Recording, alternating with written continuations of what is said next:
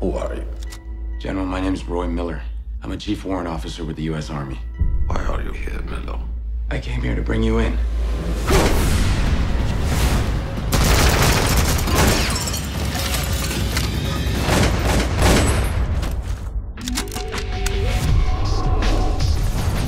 What do you think you're doing here, Miller? You're off reservation for a reason. What is it? I came here to find weapons and save lives. It's a little more complicated than that. Well, not to me, it isn't. Lawrie Dayne, Wall Street Journal. Does it make any sense we're still coming up empty? No. I read your articles. You said a source named Magellan met with U.S. officials prior to the war. No, I'm not discussing sources.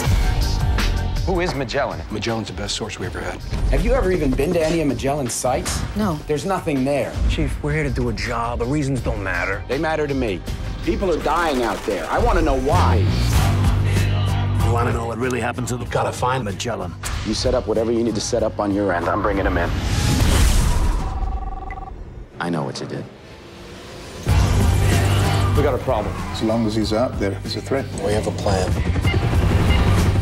ETA? 12 minutes, sir. You take him out. I've got him. This is a kill, no catch or miss him. You have no idea who you're dealing with here. Get with the program and get out of my way.